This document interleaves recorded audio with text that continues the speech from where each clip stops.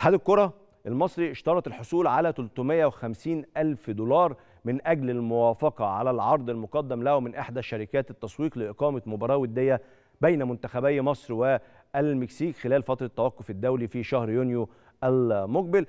الاتحاد المصري كان خد في ودية بلجيكا 250 ألف دولار وعايز يرفع الرقم شوية. فيتوريا عايز يلعب مباراة ودية خلال هذه الفترة. غالبا هنلعب هذه المواجهة الودية مع المكسيك.